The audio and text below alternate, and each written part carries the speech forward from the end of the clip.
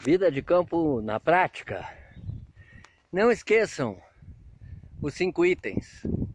Ative o sininho. Compartilhe nossos vídeos. Indique para os seus amigos.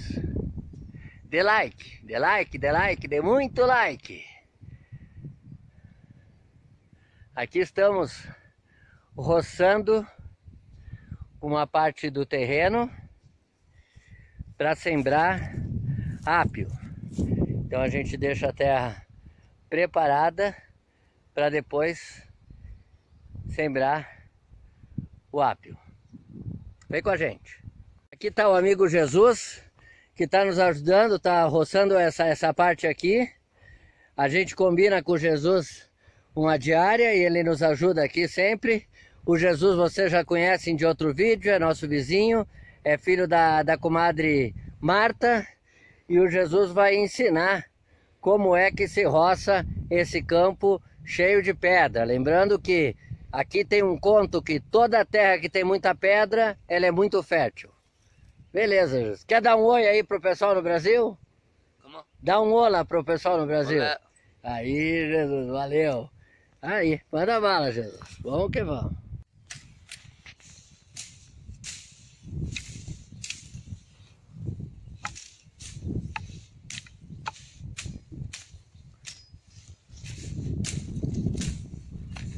Você observa que é uma terra de muita pedra, então o facão ele perde o fio quando toca na pedra, por isso que tem que ter o cuidado. Aquele pauzinho que ele está usando ali é o garavato, que ele usa para puxar o mato. Tem muito dessa samambaia aqui, a gente tira a samambaia e está sempre tirando com, com a mão. A gente evita usar agrotóxico, usar veneno na região.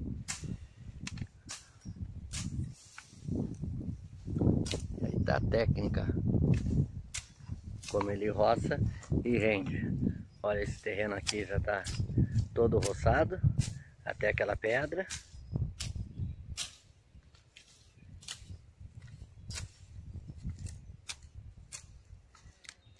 E daqui para cima, tudo isso é o que ainda tem para roçar. Lá em cima não, lá em cima já tem ápio plantado.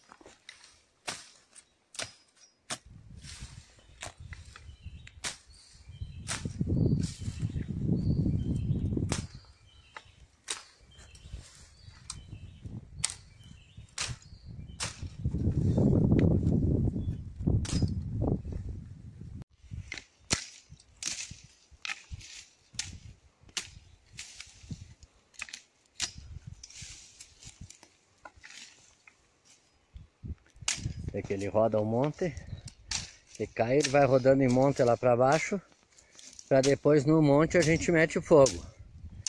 Aí mete o fogo, depois de um tempo que a terra está bem limpa, se planta o ápio. O ápio é a nossa principal produção, porque o ápio tem muito comércio aqui, e com o ápio a gente compra na troca e na venda o restante da comida. Tem um vídeo no canal onde vocês vão ver como colhe o ápio como transporta o ápio também.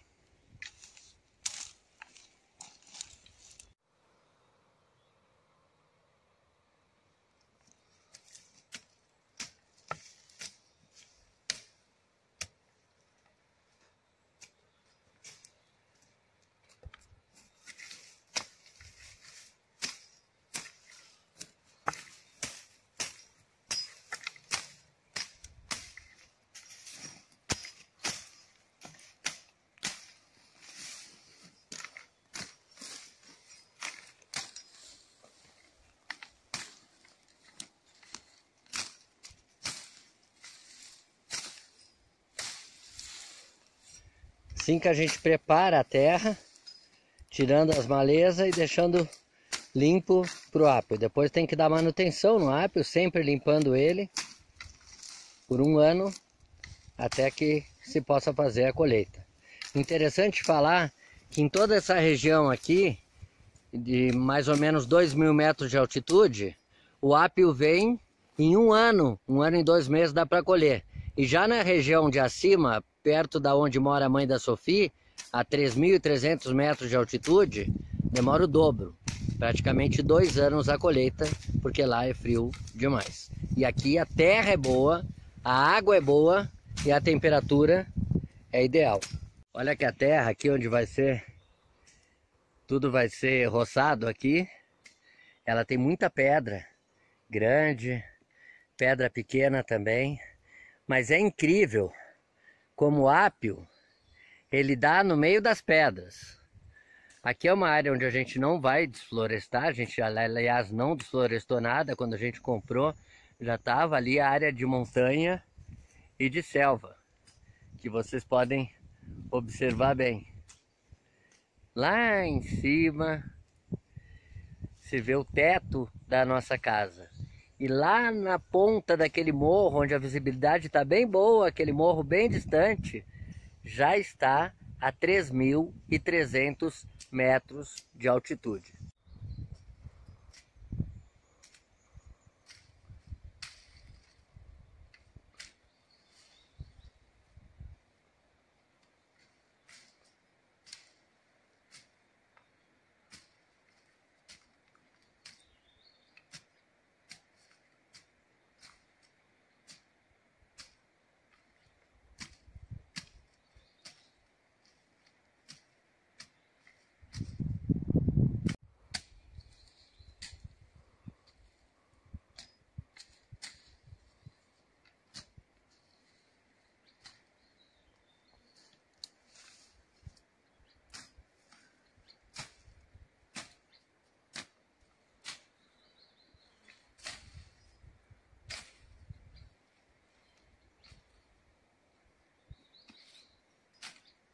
Interessante comentar que a gente deixa as árvores frutíferas, por exemplo, aqui é uma goiaba, que a gente deixa aqui no roçar.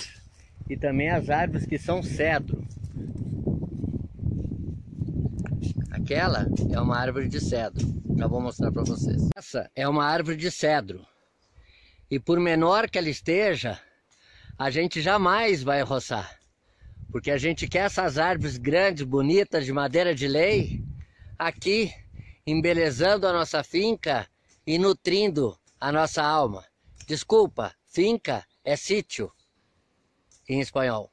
É claro que sempre que a gente roça, os pés de, de pêssego também, a gente deixa aqui, não corta de maneira nenhuma, que são as frutas que tem aqui na região da nossa casa.